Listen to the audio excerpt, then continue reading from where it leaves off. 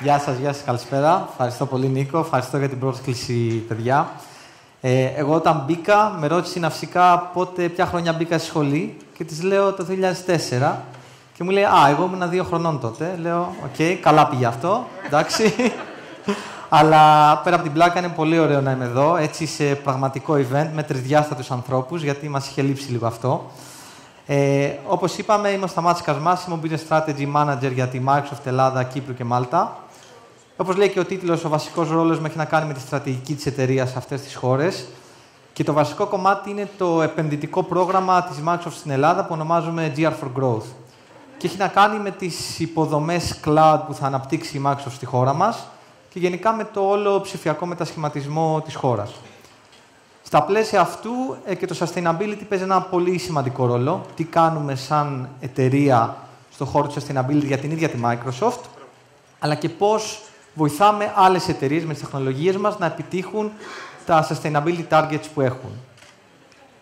Οπότε, όταν προετοιμαζόμουν για αυτήν την παρουσίαση παρεμπιπτόντως, ε, προσγειωνόμουν στο Άμστερνταμ. Οπότε έβλεπα την πόλη από ψηλά. Το Άμστερνταμ, όσοι ξέρετε, είναι σχεδόν ένα με το επίπεδο της θάλασσας. Και εκεί σκεφτόμουν, κοίτα την ηρωνία. Έτσι, βλέπω εδώ τους πάγους που λιώνουν και ετοιμάζομαι για μια παρουσίαση που θα μιλήσω για την κλιματική αλλαγή. Και βλέπω μια πόλη που μελλοντικά μπορεί να μην υπάρχει αν δεν σταματήσουμε το φαινόμενο της κλιματικής αλλαγής. Το πρόβλημα είναι μεγάλο, είναι αληθινό και χρειάζεται δράσεις από όλους και όλες, από τον καθένα μας ατομικά μέχρι τα κράτη, τις κυβερνήσεις, εταιρείες κλπ. Έχουν γίνει κάποιες μελέτες από την IPCC, το International Panel for Climate Change, που λέει ότι αν ακόμη όλες οι εταιρείες και όλες οι χώρες επιτύχουν τις δεσμεύσεις που έχουν βάλει για τη μείωση των εκπομπών αερίων θερμοκηπίου μέχρι το 2050, ακόμη και αν όλες τις πετύχουν, δεν είναι αρκετό για να σταματήσουμε την αύξηση της θερμοκρασίας στους 1,5 βαθμούς Κελσίου. Που αυτό είναι και αυτό που θέλουμε να κάνουμε για να σταματήσουμε την, ε, τις επιπτώσεις της κλιματικής αλλαγής. Επομένως, χρειάζεται να κάνουμε περισσότερα και πιο δραστικά πράγματα. Ο τρόπος για να ε, ανατρέψουμε λίγο αυτό που γίνεται με το φαινόμενο θερμοκηπίου και τις περιβαλλοντικές επιπτώσεις της κλιματικής αλλαγής είναι να πάμε σε αυτό που λέγεται Net Zero Economy. Net Zero Economy πολύ απλά σημαίνει όταν μια εταιρεία ε, οι εκπομπές των αερίων θερμοκηπίου που ε, εκπέμπει είναι λιγότερες από αυτές που απορροφά. Και θα δούμε σε λίγο τι, τι σημαίνει αυτό. Πριν προχωρήσουμε, θα ήθελα λίγο να μιλήσουμε για την ορολογία που μπορεί να ακούσετε, όσοι ψάξετε λίγο το κομμάτι του sustainability και κυρίως το, μιλάμε σήμερα για το περιβαλλοντικό κομμάτι του sustainability, γιατί έχει πολύ, ε, η βιωσιμότητα έχει πολύ μεγάλο φάσμα. Ε, μιλάμε κυρίως για εκπομπές διοξιδίου του άνθρακα. Όταν μιλάμε για αέρα θερμοκηπίου, το βασικό είναι διοξίδιο του άνθρακα. Υπάρχουν και άλλα, ας το λέμε διοξίδιο του άνθρακα σήμερα. Ε, και υπάρχουν τρεις κατηγορίες. Ε, το Scope 1, που είναι αν εγώ, που είμαι η Microsoft, ας πούμε, έχω το γραφείο μου και έχω μια γεννήτρια με diesel και ότι γεννήτρια για ρεύμα, όταν δεν έχω ρεύμα από το δίκτυο. Αυτό είναι Scope 1. Scope 2 έχει να κάνει με το ρεύμα που παίρνω από το δίκτυο. Μου το δίνει κάποιος άλλος, αλλά από κάπου έχει παραχθεί, οπότε υπάρχουν κάποια CO2 emissions. Και το Scope 3, που είναι και το πιο πολύπλοκο, έχει να κάνει με όλη την εφοδιαστική αλυσίδα για οτιδήποτε κάνω. Το Xbox, για παράδειγμα, για να παραχθεί χρειάζεται υλικά. Χρειάζεται αυτά τα υλικά να παραχθούν από κάπου, να συναρμολογηθούν, να μεταφερθούν κάπου. Ακόμη και το ρεύμα που καταναλώνω εγώ όταν παίζω με το Xbox μετριέται σαν ε, Scope 3 emissions της Microsoft. Οπότε, όπως καταλαβαίνετε, είναι ένα πολύ, πολύπλοκο, πολύ πολύπλοκη κατηγορία εκπομπών ε, διοξιδίου του άνθρακα. Ε, κατά μέσο όρο, το 90% των εταιριών οι εκπομπές τους είναι στην, σε αυτή την κατηγορία. Παρόλο που είναι πολύ μεγάλο και πολύ ε, πολύπλοκο, είναι όμως και πάρα πολλά τα πράγματα που μπορούμε να κάνουμε έστω και baby steps για να μειώσουμε το περιβαλλοντικό μας αποτύπωμα. Ακόμη και ο κώδικας που θα γράψει ένας προγραμματιστής για ένα, για ένα software, οι γραμμές του κώδικα που θα έχει ε, έχουν και το αντίστοιχο περιβαλλοντικό αποτύπωμα. Αν καταφέρει αυτός ο προγραμματιστής να μειώσει τον κώδικα, σημαίνει ότι μετά ο επεξεργαστής του υπολογιστής θα χρησιμοποιεί λιγότερη ενέργεια για να τρέξει αυτό το λειτουργικό σύστημα. Επομένως, αν το σκεφτείτε, υπάρχουν άπειρα πράγματα που μπορούμε να κάνουμε. Πάμε τώρα να δούμε λίγο το, το ταξίδι της Microsoft, που ξεκίνησε στο κομμάτι του sustainability, που ξεκίνησε από το 2009, όπου η εταιρεία ανακοίνωσε λίγο το πρώτο της στόχο, αν θέλετε έτσι, για την μείωση των εκπομπών ε, διοξιδίου του άνθρακα από τις δράσεις που κάνει. Από τα γραφεία, από τα ταξίδια των εργαζομένων, από μετακινήσεις, από το χαρτί που χρησιμοποιεί, από τα κέντρα δεδομένων, οι data centers, αν ξέρετε, που καταναλώνουν πάρα πολύ ενέργεια. Και υπάρχουν πάρα πολλά milestones σε αυτό το ταξίδι. Ένα από τα αρκετά σημαντικά είναι αυτό που λέμε το, το carbon fee. Αυτό τι σημαίνει, σημαίνει ότι κάθε τμήμα μέσα στην εταιρεία, κάθε business unit, πληρώνει σε ένα, ας το πούμε, κεντρικό ταμείο στη Microsoft έναν φόρο ανάλογα με τις εκπομπές ε, που εκπέμπει. Αυτό στην ουσία μειώνει τα περιθώρια κέρδους κάθε τμήματος. Οπότε δίνει κίνητρα στο να μειωθούν οι εκπομπές είτε από ταξίδια είτε από ό,τι ανέφερα. Και μετά αυτό το κεντρικό ταμείο χρησιμοποιεί αυτά τα χρήματα για να κάνει δράσεις που θα μειώσουν το περιβαλλοντικό αποτύπωμα συνολικά της Microsoft. Είτε να βάλει, δεν ξέρω, φωτοβολταϊκά στα γραφεία, είτε φορτιστές για ηλεκτρικά αυτοκίνητα, που είδα είχατε και έξω σήμερα αρκετά και ήταν πολύ ωραίο. Οπότε αυτό είναι ένα πολύ ωραίο κόνσεπτ και το κάνουν και αρκετές εταιρείες σιγά σιγά. Και πάμε τώρα fast forward στο 2050, που η εταιρεία έχει θέσει ένα πολύ φιλόδοξο σχέδιο, το οποίο είναι να απορροφήσει όλο το διοξείδιο του άνθρακα που έχει εκπέμψει από τότε που ιδρύθηκε, το 1975. Θα μου πεις τώρα πώς γίνεται να απορροφήσει το διοξείδιο του άνθρακα, τι θα γίνει. Φανταστείτε ότι υπάρχουν τεχνολογίες που λέγεται carbon capture, είναι σαν τεράστιοι ανεμιστήρες, φανταστείτε, που τραβάνε αέρα και απορροφάνε το διοξείδιο του άνθρακα. Το βγάζουν δηλαδή από την ατμόσφαιρα. Τώρα θα μου πεις, καλά, η Microsoft τι δουλειά έχει με αυτό, ότι εσείς σε εταιρεία τεχνολογίας, εσεί είστε που κολλάει. Ε, κολλάει στο ότι η Microsoft επενδύει σε τέτοιες εταιρείες που ασχολούνται με αυτές τις τεχνολογίες, επενδύει στην έρευνα και στην καινοτομία αυτών των εταιριών, ώστε να εξελιχθούν αυτές τις τεχνολογίες και να είναι αυτό που λέμε commercially available, ώστε να χρησιμοποιούνται όλο και περισσότερο. Τώρα, ανάμεσα ε, στο τώρα και στο 2050, τα πιο immediate targets που έχουμε βάλει είναι αυτά εδώ, για το 2030. Ε, carbon negative είναι αυτό που λέμε να απορροφάς περισσότερο από αυτό που εκπέμπεις. Water positive, που και το νερό είναι πάρα πολύ σημαντικό κομμάτι του sustainability, έχει να κάνει με το να βάζουμε στο οικοσύστημα περισσότερο νερό από αυτό που χρησιμοποιούμε και αυτό γίνεται πάλι με επενδύσεις σε έργα υποδομών που έχουν να κάνουν με υγροβιότοπους και διάφορα άλλα. Και το τρίτο είναι το, το zero waste, δηλαδή να χρησιμοποιούμε υλικά που είναι ανακυκλώσιμα, να μην χρησιμοποιούμε υλικά πλαστικά μιας χρήσης στα προϊόντα μας και γενικά να επαναχρησιμοποιούμε όσο περισσότερο γίνεται τις υπάρχουσες υποδομές. Και το τελευταίο, που ίσως είναι και το πιο φιλόδοξο, είναι αυτό που λέμε ο πλανητικός υπολογιστής, αν μπορούμε να μεταφράσουμε έτσι το Planetary Computer.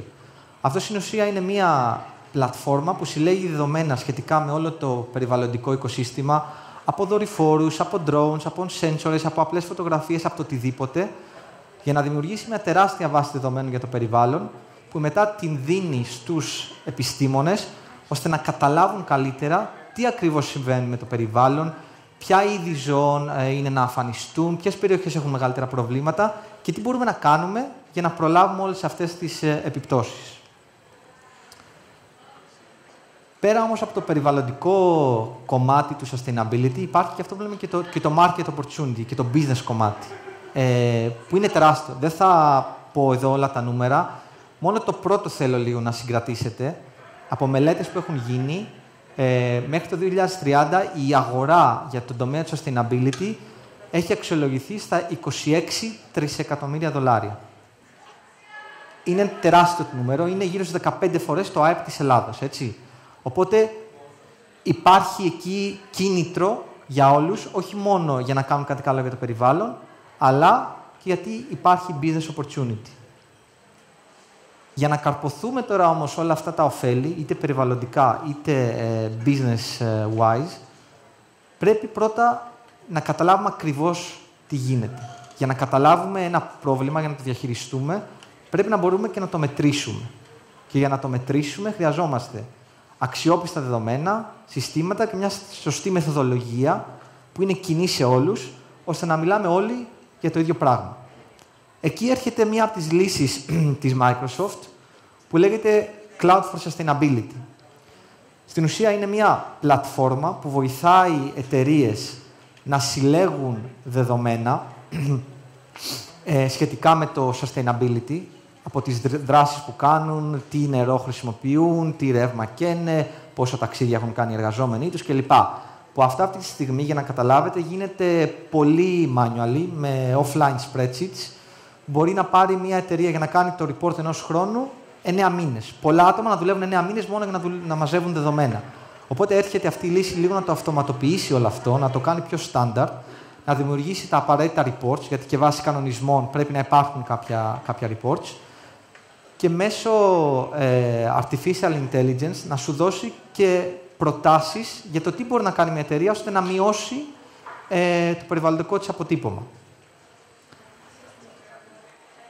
Πάμε τώρα να δούμε κάποια, αυτό που λέμε case studies, δηλαδή ε, πώς κάποιοι οργανισμοί, χρησιμοποιώντας είτε το Cloud for Sustainability είτε άλλες τεχνολογίες, έχουν καταφέρει όντως να συνδράμουν ε, στο να μειώσουν το περιβαλλοντικό τους αποτύπωμα και γενικά στην, ε, στην επιβράδυση της κλιματικής αλλαγής. Το πρώτο είναι αυτό που λέμε Renewable Energy Monitoring σε, σε real time. Αυτό είναι με μια εταιρεία που λέγεται Vattenfall. Είναι, φανταστείτε, η σουηδική ΔΕΗ αντίστοιχα. Πολλές φορές ακούμε να λέμε ότι ο πάροχος ενέργειας μας δίνει 100% ανανεώσιμες πηγές. Ε, ρεύμα από ανανεώσιμες πηγές. Αυτό είναι αρκετά δύσκολο να το μετρήσουμε, να καταλάβουμε ότι όντως ισχύει.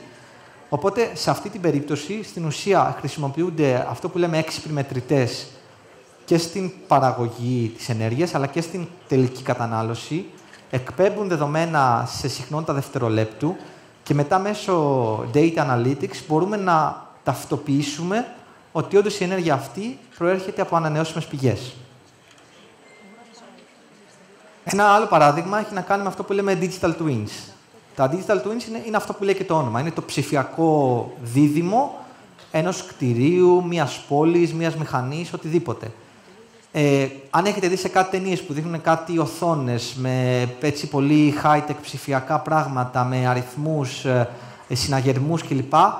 Αυτό δεν είναι επιστημονική φαντασία. Αυτά υπάρχουν. Είναι digital twins, είναι μοντέλα που κατασκευάζονται για να πληροφορούν τους διαχειριστές κτηρίων κατά βάση πώς συμπεριφέρεται ένα κτίριο, να δείχνουν τα, έτσι, τα, τα hot spots των κτηρίων σε σχέση με την κατανάλωση ενέργειας κατά βάση και να τους πληροφορούν στο τι θα μπορέσουν να αλλάξουν, να κάνουν αυτό που λέμε σενάριο modeling και να δουν τι impact θα έχει αυτό στι εκπομπές διοξιδίου του άνθρακα. Και αυτό είναι σημαντικό γιατί μπορούν να τεστάρουν πράγματα πριν ξοδέψουν χρόνο και χρήμα να τα κάνουν και να δουν τι αποτέλεσμα θα έχουν. Ένα άλλο κομμάτι, αυτό είναι ένα project με τη Rolls-Royce. Η Rolls-Royce, πέρα από τα αυτοκίνητα που ξέρουμε όλοι, δίνει και μηχανές για αεροπλάνα. Τα περισσότερα αεροπλάνα έχουν μηχανές Rolls-Royce. Ε, μία μηχανή ενός αεροπλάνου, κινητήρας δηλαδή, έχει πάρα πολλούς sensors πάνω. Εκπέμπει δεδομένα της τάξης των εκατομμυρίων δεδομένων ανά, ανά λεπτό. Αυτά τα δεδομένα, όπως φαντάζεστε, είναι πάρα πολύ δύσκολο ένας άνθρωπος να τα συλλέξει και να τα κατανοήσει. Δεν μπορείς να τα βάλεις σε ένα Excel, δεν μπορείς να τα βάλεις κάπου να καταλάβεις τι σου λένε αυτά τα δεδομένα. Οπότε πάλι μέσω τεχνολογιών ε, cloud, machine learning, μπορούμε να, να πάρουμε κάποια insights από αυτά τα δεδομένα και να, να δώσουμε πίσω συμβουλές στο πώς μπορεί να γίνει ένα optimization και να μειωθεί, η κατανάλωση καυσίμου. Και ειδικά στα αεροπλάνα αυτό είναι πολύ σημαντικό γιατί τα καύσιμα των αεροπλάνων είναι πάρα πολύ ρηπογόνα. Το επόμενο, ίσως είναι και το πιο απλό, αλλά είναι από τα αγαπημένα μου γιατί ίσως το ξεχνάμε. Ε, όταν λέμε για ψηφιακό μετασχηματισμό εταιριών, υπάρχει πάρα πολύ μέσα το κομμάτι του sustainability. Γιατί το χαρτί που δεν θα γράψω πλέον κάτι, αλλά θα το γράψω στο, στον υπολογιστή μου, το team call που θα κάνω και δεν θα πάω να ταξιδέψω για να συναντήσω κάποιον συνάδελφό μου. Όλα αυτά, αν τα αθροίσουμε, έχουν πάρα πολύ μεγάλο θετικό αποτέλεσμα. Και συνήθως το ξεχνάμε αυτό, αλλά είναι, είναι, είναι αρκετά, αρκετά σημαντικό.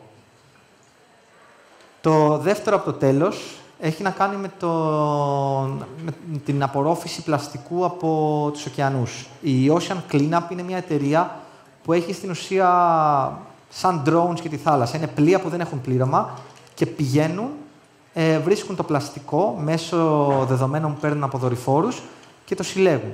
Το να καταλάβει όμως ότι ο χειριστής, ο απομακρυσμένος χειριστής αυτού του οχήματος, ότι όντως είναι πλαστικό αυτό που θα στείλει το όχημα, είναι πολύ δύσκολο. Εκεί έρχονται πάλι τεχνολογίες artificial intelligence να βοηθήσουν την, ε, την Ocean Cleanup να πάει πολύ πιο στοχευμένα εκεί που όντως υπάρχει πλαστικό, σε συνδυασμό με τα, με τα ρεύματα του νερού, και να πάει να προλάβει το πλαστικό ακόμα πριν καν πάει στον ωκεανό. Γιατί το πλαστικό στον ωκεανό κατά βάση έρχεται από ρεύματα, από ποτάμια κλπ. Οπότε αυτό τους βοηθάει να αυξήσουν κατά πολύ τη συλλογή των πλαστικών και να μειώσουν και το δικό τους ε, περιβαλλοντικό αποτύπωμα, ε, όντας πολύ πιο παραγωγικοί σε αυτό που κάνουν. Και το τελευταίο, γιατί νομίζω ότι αρχίζω να σας κουράζω, έχει να κάνει με τον αγροτικό τομέα. Ε, ο αγροτικός τομέας είναι από τους τομείς που έχει πολύ μεγάλες εκπομπές διοξιδίου του άνθρακα και έχει πολύ μεγάλο αυτό που λέμε waste, δηλαδή πάρα πολλά αγροτικά προϊόντα πριν καν φτάσουν στο καταναλωτή, τα πετάμε. Ε, βάζοντας ε, σένσορες στο χώμα, συλλέγοντας ε, δεδομένα πάλι από δορυφόρους, είτε από κάμερες που μπορεί να υπάρχουν στα τρακτέρ των αγροτών κλπ. Αυτό είναι ένα πιλωτικό που κάνουμε στην Αμερική τώρα. Ε, βοηθάμε, συλλέγοντας όλη αυτή την πληροφορία και κάνοντας πάλι analytics, να δώσουμε πληροφορίες στους αγρότες στο πώς θα μπορέσουν να έχουν περισσότερη παραγωγή, χρησιμοποιώντας λιγότερο νερό, λιγότερο λίπασμα, ε, να τους πληροφορήσουμε για την υγεία των καλλιεργειών τους. Οπότε αυτό τους βοηθάει να αυξήσουν κατά πολύ την παραγωγή, αλλά έχοντας χρησιμοποιήσει πολύ, πολύ λιγότερους πόρους. Όπως βλέπετε υπάρχει ένα, ένα, ένα μεγάλο φάσμα στο που η τεχνολογία μπορεί να βοηθήσει στο κομμάτι του sustainability. Αυτά είναι μόνο μερικά από τα παραδείγματα. Υπάρχουν ε, εκατοντάδες παραδείγματα που μπορούμε να δούμε. Αλλά είναι και πολύ, και πολύ μεγάλα από τον αγροτικό τομέα μέχρι την καθημερινή εργασία, μέχρι το κλάδο της ενέργειας. Άρα, γενικά, το βασικό που θέλω να, να κρατήσετε είναι ότι έχοντας την πληροφορία, αναλύοντας την πληροφορία και παίρνοντας μηνύματα που είναι εύκολα να τα κατανοήσουμε, μπορούμε να κάνουμε και τις αντίστοιχες δράσεις. Και τέλος, θέλω έτσι να κάνω ξανά highlight ότι το πρόβλημα είναι, είναι, είναι για όλους μας. Είναι, έχει πλανητικές διαστάσεις και χρειάζεται και τις αντίστοιχες ε, δράσεις.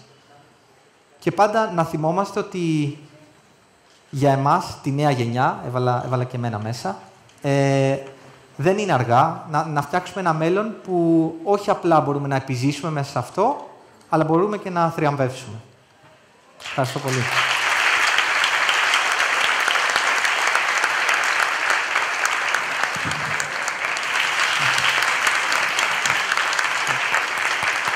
Τέλεια.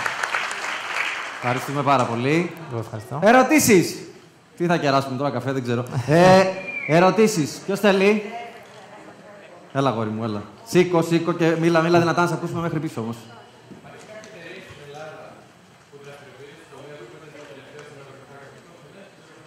Μισό λεπτό, συγγνώμη. Ακούμε.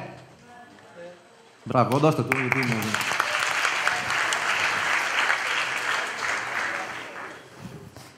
Δεν γνωρίζω. Έχω ακούσει για κάποια startup που δεν θυμάμαι τα ονόματα, αλλά μπορώ να τα ψάξω και να τα στείλω, που θέλουν να ασχοληθούν με αυτό το τομέα. Γιατί πέρα από το κομμάτι που είπαμε ότι είναι καλό για το περιβάλλον, όπως είπαμε, υπάρχει και πολύ μεγάλο market, πολύ μεγάλο business opportunity.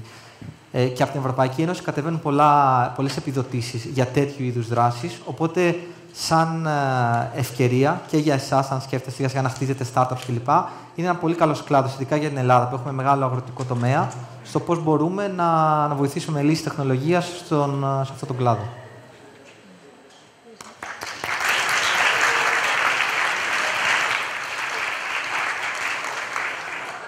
Σήκω, σήκω, σήκω.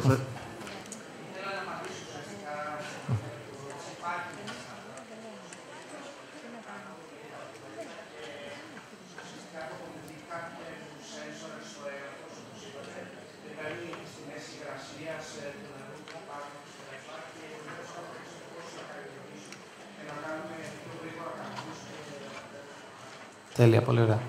Ευχαριστούμε. Άλλη ερώτηση; Γιατί κάτσαμε γαλάρια όλοι. καλά, αύριο θα περάσουμε καλά. Ε, ερώτηση άλλη; Κάνω εγώ. Καλά, μου κερνάω καφέ. λοιπόν, κάτσε γιατί έχω σημειώσει μια. Ε, μπράβο, ναι. Στην Ελλάδα έχουμε υποδομές για να πετύχουμε το, το sustainability. Έχουμε.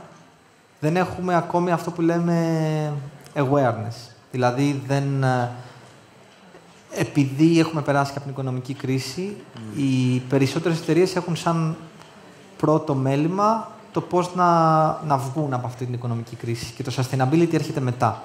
Γιατί οι τεχνολογίες υπάρχουν, δηλαδή οι τεχνολογίες του cloud είναι παντού. Δεν χρειάζεται να είσαι στην Ελλάδα, μπορείς να είσαι οπουδήποτε. Όλα αυτά που λέμε για analytics, artificial intelligence υπάρχουν. Δεν είναι θέμα αν είναι στην Ελλάδα ή σε κάποια χώρα. Υπάρχουν, είναι software, μπορεί να χρησιμοποιηθεί παντού. Sensors είναι εύκολο, μπορείς να βάλεις παντού. Το θέμα είναι ότι δεν είναι αυτό που λέμε business priority. Είναι θέμα περισσότερο κουλτούρας και προτεραιοτήτων παρά τεχνολογίας. Χρονικά πότε το προσδιορίζεις; Να πεις ότι. Ξέρεις, σκέφτομαι ότι α, φτάσει σε ένα σημείο που αυτό θα είναι πια priority. Κοίτα, εγώ καταρχήν επέστρεψα τώρα από Αγγλία. Με σχεδόν ένα χρόνο στην Ελλάδα, έλειπα 11 χρόνια. Ε, περίμενα ότι θα είμαστε πιο πίσω από ό,τι είμαστε. Δηλαδή, το βλέπω ότι πολλοί από τους πελάτες που μιλάμε το σκέφτονται πολύ έντονα. Δεν κάνουν πολλά πράγματα ακόμη. Είναι αυτό που λέμε ξέρεις, baby steps. Αλλά πιστεύω ότι σε μια πενταετία θα είναι πολύ όριμο όλο αυτό το κομμάτι και θα δούμε πραγματικές δράσεις από πολλές εταιρείες. Ευχαριστώ πολύ. Οπότε, Να αποχαιρετήσουμε Ευχαριστώ πολύ και εγώ. το Σταμάτη. Να είστε καλά, παιδιά. Ευχαριστώ πολύ. Ευχαριστούμε, Σταμάτη. Stars